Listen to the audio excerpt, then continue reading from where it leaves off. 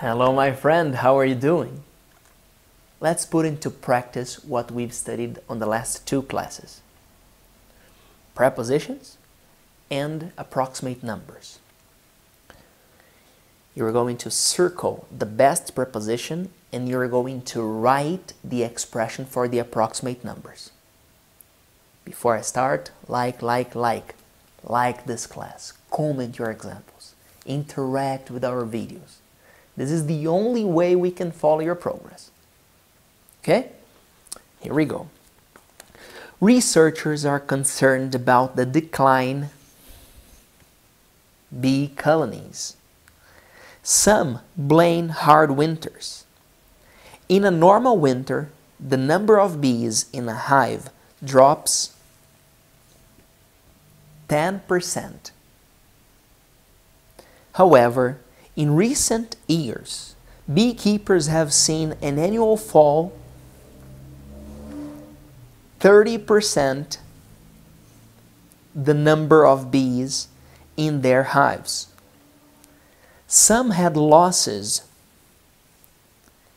50% and some even lost 90% of their bees.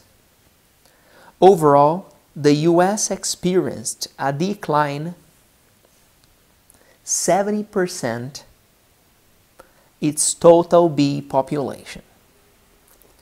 However, this problem does not exist everywhere. In fact, globally, there has been an increase 45% the number of hives and honey production has also risen 100% in the last 50 years. Now please, circle the best prepositions and complete these spaces using the expressions we studied last class. After doing it, tell me, what is this text about? Comment here. I want to see your answers.